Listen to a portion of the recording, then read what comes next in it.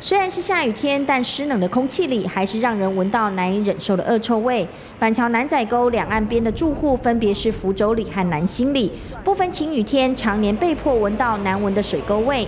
新北市议员刘美芳陪同两位里长站出来，为居民争取呼吸新鲜空气的权益。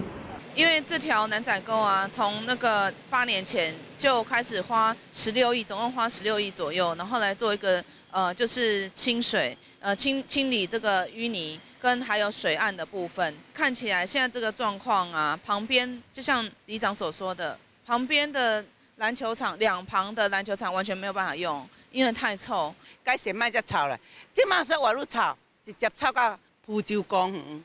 福福州公园运动的人妈妈啦吼，搁一款福州里全部拢是住户，工厂住户，大家讲吼，那这个中毒啦吼，这个登革热啦吼，这个带病拢是这条沟引起，这个真的臭。根本无法度，有够臭的，那臭味真的会会很臭，会伤身体啦。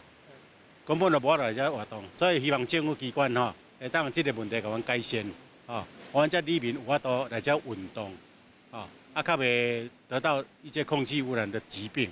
南仔沟在市府进行整治下，环境改善许多，却有接近六百公尺的距离，淤土堆积高于水面，疑似就是臭味的来源，导致沿岸即使做好了休闲设施，还是被民众挥手拒绝亲近。别说没人来使用，周边两个里的居民都受不了了。因为真的有味道，大家都。你看花了这么多的钱，然后也没有小朋友去玩那些游乐设施，然后也没有大人来这边，呃，去河河岸来打篮球，然后来走河岸。那这样子花了这么多的钱，到底？